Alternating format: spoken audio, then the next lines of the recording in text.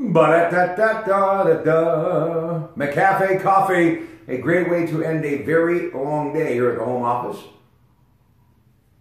Good evening. It is your Pratte Pack. I hope your day has gone well. And what a day in the wild card action, National Football League. Blake Bortles threw for only 87 yards, but he did throw a touchdown. His legs, a big reason why Jacksonville is moving on. He rushed for 88 yards, the final 10-3 over Buffalo. They will now play the Steelers in a second round matchup Sunday at 1 o'clock at Heinz Field. It's a rematch from week five in which Ben Roethlisberger threw five interceptions in a Jacksonville 30-9 win.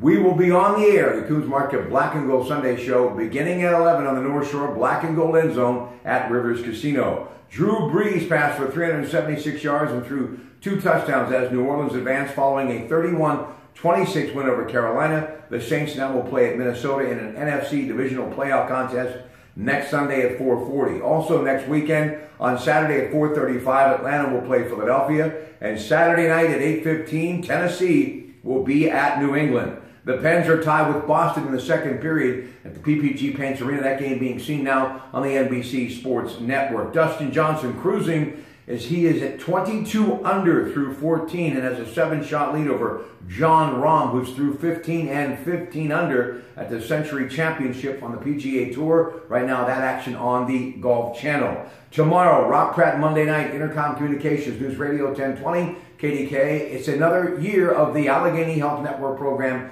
Medical Frontiers, their first of 2018. Dr. Gerald Pfeiffer, 7 o'clock. The topic, Ask the Doctor Anything. His guest, primary care physician and director for the Center of Preoperative Medicine, Dr. Mark Itzkovitz. That's tomorrow night at 7 on News Radio 1020 KDKA. Then in the 8 o'clock hour on the Disc Institute of Pittsburgh Newsline, it's Greg Diolis and Bob Dvorak from the Kuhn's Market Black and Gold Sunday Show talking the national championship game in college football being played tomorrow night at Mercedes-Benz Stadium in Atlanta between Alabama and the University of Georgia. Folks, enjoy the rest of your night, and we will talk to you tomorrow from the home office, in your Pratte Pack. Good night.